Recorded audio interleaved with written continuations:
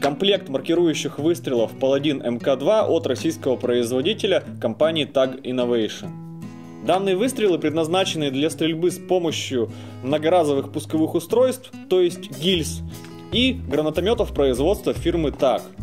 Принцип действия данных выстрелов следующий.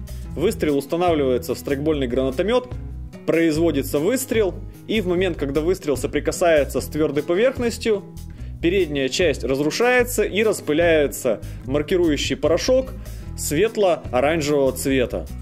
Такие выстрелы могут применяться для условного поражения техники на страйкбольных и пинбольных играх. Во избежание неприятных ситуаций не стоит стрелять, если по направлению прицеливания находятся люди ближе, чем на расстоянии 20 метров. В зависимости от типа пускового устройства и температуры окружающей среды, данные выстрелы могут лететь на расстояние от 60 до 170 метров. Данные выстрелы имеют сертификацию таможенного союза.